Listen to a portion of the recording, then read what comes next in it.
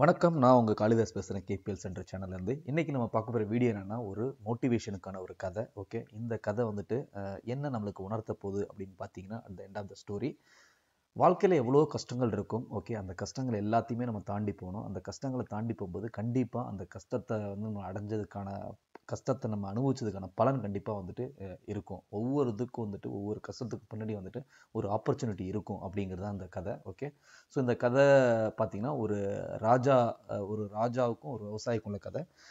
பார்த்திங்கன்னா பார்த்தீங்கன்னா ஒரு ராஜா ஓகே இந்த கதையில். இந்த ராஜா வந்துட்டு என்ன பண்ணுறாரு அப்படின்னா அவர் வந்துட்டு ஒரு எப்படிப்பட்ட ராஜா அப்படின்னா எல்லாரையும் சோதிக்கிற மாதிரி ஒரு ஒரு ராஜா. அதாவது மற்றவங்களை சோதிச்சு வந்துட்டு அதுலேருந்து வந்துட்டு ஒருத்தவங்களுக்கு வந்து பாடம் புகுத்தணும் அப்படிங்கிற நினைக்கிற ஒரு ராஜா. ஸோ அப்படி இருக்கும்போது ஒரு நாள் ராஜா வந்து ரோட்டில் போயிட்டுருக்காரு. அப்படி ரோட்டில் போயிட்டு இருக்கும்போது என்ன பண்ணுறாரு அப்படின்னா ஒரு ரோட்டில் வந்து ஒரு பெரிய ஜெய்ஜாண்டிக்கான ஒரு பாறாங்கல்ல பார்க்குறாரு அந்த பாறாங்களை பார்த்துட்டு அந்த அந்த பாறாங்களை வச்சு ஒரு கதை புகட்டணும் அதாவது வந்து ஒரு பாடம் புகட்டணும் அப்படின்னு சொல்லிட்டு என்ன பண்ணுறாரு அப்படின்னா அவர் போகிற வழியில் அந்த கல்லை தூக்கி வந்து போகிற வழியில் அந்த ரோட் ரோட்லேருந்து அது சைடில் இருக்க அந்த கல்லை அந்த கல்லை தூக்கி அந்த ரோட்டுக்கு சென்டரில் வந்து வைக்கிறாரு. ஸோ வச்சுட்டு அவர் என்ன பண்ணுறாரு அப்படின்னா அதுக்கப்புறம் ஓரமாக போய் ஒளிஞ்சுக்கிறாரு. என்ன அப்படின்னா அந்த கல்லை வந்து யார் நவுத்தி வச்சுட்டு போகிறாங்க அந்த கல் வந்து நடக்கிற அத்தனை பேருக்கு வந்து இடையூறாக இருக்குது.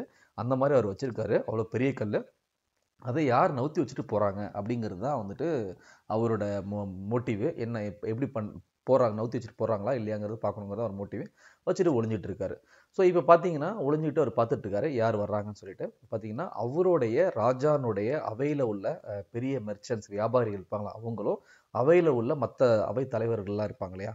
ஸோ அவங்களும் வந்து நடந்து வந்துட்டு இருக்காங்க ரெண்டு பேரும் பேசிகிட்டே வந்துட்டு இருக்காங்க பேசிட்டு வந்தோடனே இந்த கல் வந்துட்டு இப்போ கிட்ட வர்றாங்க. கல் வந்தோடனே பார்த்தோன்னா பெரிய இடையூறாக இருக்குது உடனே வந்து கத்துறாங்க. பாரு எவன் இங்கே கல்லை வச்சான்னு தெரில ஓகே.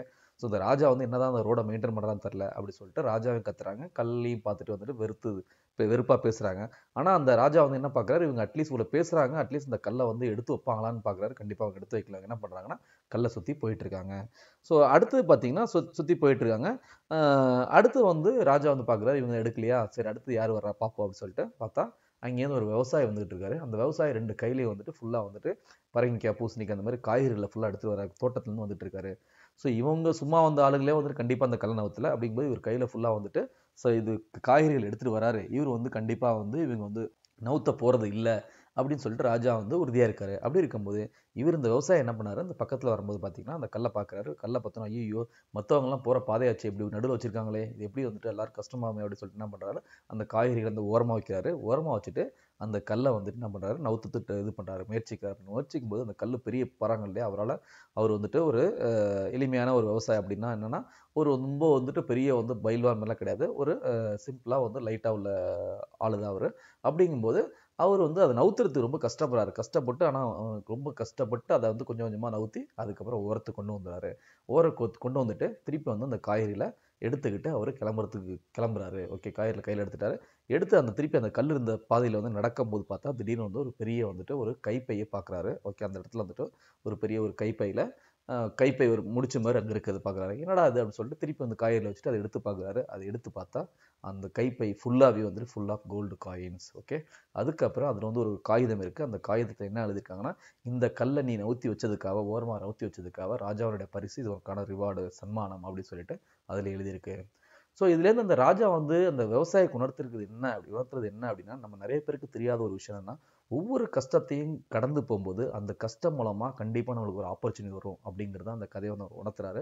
அதனால அவரோட வாழ்க்கை தரம் மேம்படுச்சு இப்போ அதுதான் வந்து என்ன சொல்கிறாருன்னா ஒவ்வொரு கஷ்டத்து காலத்தையும் நம்ம கடந்து போனோம்னா கண்டிப்பாக நம்மளோட வாழ்க்கை தரம் உயரும். இப்போ பாருங்கள் ஆரம்ப காலத்துலேருந்து ஒரு காலேஜ் படிச்சுட்டு ஒரு ஸ்டூடெண்ட் வெளில வரான் அப்படின்னா அதுக்கப்புறம் வந்துட்டு ஒரு கம்பெனி ஜாயின் பண்ண பார்த்தீங்கன்னா ஒரு ரெண்டாயிரம் சம்பளத்தில் ஜாயின் பண்ணுவான் ஓகேவா கண்டிப்பாக கஷ்டப்படுவான். பழைய பழைய பல விதமான க சின்னல்கள் எல்லாத்தையும் அனுபவிச்சு வந்தால் தான் தட் இஸ் கால்டு எக்ஸ்பீரியன்ஸ் சொல்கிறோம் அதுதான் வந்து நம்ம அனுபவம் சொல்கிறோம் அந்த அனுபவத்தை தாண்டி போகும்போது கண்டிப்பாக வந்து ஒரு நல்ல ஒரு சம்பளத்துக்கு போகிறான் பத்து வருஷம் எக்ஸ்பீரியன்ஸ் உள்ளவங்க ஒரு லட்ச ரூபா சம்பளம் புதுசாக ஃப்ரெஷ்ஷாக ரெண்டு வருஷம் நான் அவ்வளோ கஷ்டத்தையும் அவன் தாண்டி வந்ததுனால ஒவ்வொரு கஷ்டத்தையும் தாண்டி வந்துட்டு என்ன சொல்றது? படிக்கலாம் மாற்றினதுனால தான் அவங்களுடைய ஒவ்வொரு தடைக்கலை படிக்கலாம் மாற்றினால தான் இன்றைக்கி அவங்களுக்கு சம்பளம் அப்படின்னா அந்த திருப்பி அது தப்பு நடக்காது. அவங்க மூலமாக என்ன சொல்கிறது கம்பெனி மேன் மேல்நிலைக்கு போகும்னு சொல்லிட்டு. அதே மாதிரி இன்னொரு ப இதுக்கும் சொல்லுவாங்க ஸ்டேட்மெண்ட்டு சொல்லுவாங்க. என்ன அப்படின்னா சின்ன வயசில் கஷ்டப்பட்டவங்களாம் பெரிய வயசு நல்லா இருப்பாங்க. ஓகே சின்ன வயசில் கஷ்டப்பட்டவங்களாம் பெரிய வயசு நல்லா இருக்க மாட்டாங்க. அப்படி நல்லா இருக்க மாட்டாங்கன்னா ஸோ அதை வந்துட்டு கொஞ்சம் கஷ்டப்படுவாங்க அப்படின்னு சொல்லுவாங்க. அப்படின்னா காரணம் என்ன அப்படின்னா சின்ன வயசுல பலவிதமான துன்பத்தின் இன்பத்தின் நீ துன் துன்பங்களையும் வந்து கடந்து வந்ததுனால அடுத்தது வந்துட்டு அவங்க எப்படி வந்து மற்றவங்களை அணுகணும் அதுக்கப்புறம் எப்படி நடந்துக்கணும் அப்படின்னு சொல்லிட்டு அவங்களுக்கு தெளிவாக தெரியும். அதனால வந்து வாழ்க்கையில் இது பண்ணுவாங்க. இவங்க அதெல்லாம் வந்து க கடக்காதனால வந்து நிறைய பேர் கஷ்டப்படும் அதுக்கு தான் பார்த்தீங்கன்னா வந்துட்டு இப்போ நீங்கள் வந்து ஐயப்பன் கோயிலுக்கே போனாலும் அந்த பாட்டில் பார்த்தீங்கன்னா கல்லும் முள்ளும் காலுக்கு மத்தை அப்படின்னு சொல்லிட்டு உங்களை வந்து மென்டலி ப்ரிப்பேர் பண்ணுறது அப்படின்னா அர்த்தம்னா இப்படி தான் இருக்கும். வாழ்க்கைனா இப்படி தான் இருக்கும். கஷ்டம் தான் இருக்கும். இதெல்லாம் தாண்டி போனால் தான் அந்த மேலே போய் அந்த ஒரு தரிசனங்கிறது ஒன்று கிடைக்கும் அப்படிங்கிறது தான். ஸோ அதனால் ஒவ்வொரு வாட்டியும் வந்து உங்களுக்கு கஷ்டம் வரும்போது நீங்கள் என்ன நினச்சிங்கன்னா அந்த கஷ்டத்துலேருந்து இன்னொரு நம்மளுக்கு ஒரு வாய்ப்பு கிடைக்க போகுது. அந்த கஷ்டத்தை வந்துட்டு க கஷ்டப்பட்டு அந்த கஷ்டத்தை கஷ்டப்பட்டு அதை வந்துட்டு என்ன சொல்கிறது ஒவ்வொரு இதுலையும் வந்து ஒரு ஒரு வெறியோட அதை வந்து முடிச்சாகணும் அதை பண்ணி ஆகணும் மற்றவங்களுக்கு உபய உபயோகமாக இருக்கும். அதுக்கப்புறம் இதுக்கு தாண்டி வந்து ஒரு இது இருக்குது. ஒரு ஒரு ஆப்பர்ச்சுனிட்டி வாய்ப்பு இருக்குது அப்படின்னு நினச்சி நீங்கள் பண்ணிங்கன்னா கண்டிப்பாக எல்லாருக்கும் வெற்றி கிடைக்கும் அப்படிங்கிறது தான் இந்த வீடியோ இந்த வீடியோவில் இந்த வீடியோவில் உங்களுக்கு பயனுள்ளதாக இருந்தாலோ இது வந்து உங்களுக்கு பிடிச்சிருந்தாலோ லைக் பண்ணுங்கள் மற்றவங்களுக்கு வந்துட்டு ஷேர் பண்ணுங்கள் ஸோ இந்த வீடியோ வந்து ஃபஸ்ட் டைம் பார்க்குற யாராக இருந்தீங்கனாலும் இந்த இந்த வீடியோக்கு கீழே உள்ள சப்ஸ்கிரைப் பண்ண ப்ரெஸ் பண்ணி சப்ஸ்கிரைப் பண்ணுங்கள் தேங்க்யூ ஃபார் வாட்சிங்